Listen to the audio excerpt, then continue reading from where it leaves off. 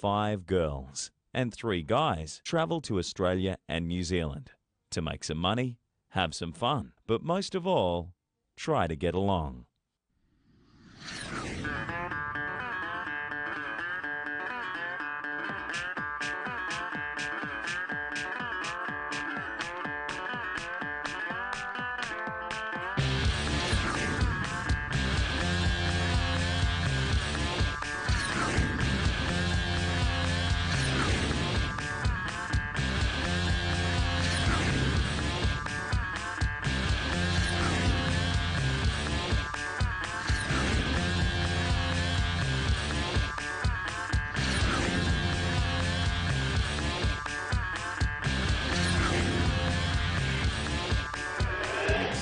Girls Down Under.